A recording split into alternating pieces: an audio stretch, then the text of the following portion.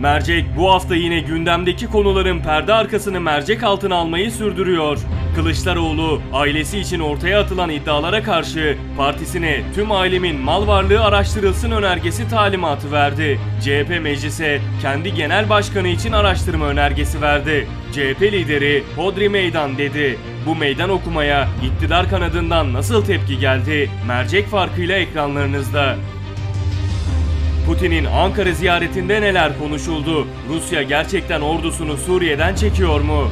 Türkiye, Rusya ve İran Suriye'de ortak ordu mu oluşturuyor? ABD hangi planları yapıyor?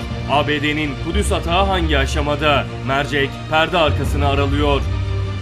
Doçent Barış Doster ve eski Yargıtay Savcısı Avukat Ruşen Gültekin'in konuk olacağı Tuğba Emlek ve Ümit Zileli'nin sunduğu Mercek yeni gününde bu akşam saat 21'de Halk TV'de. Sakın kaçırmayın.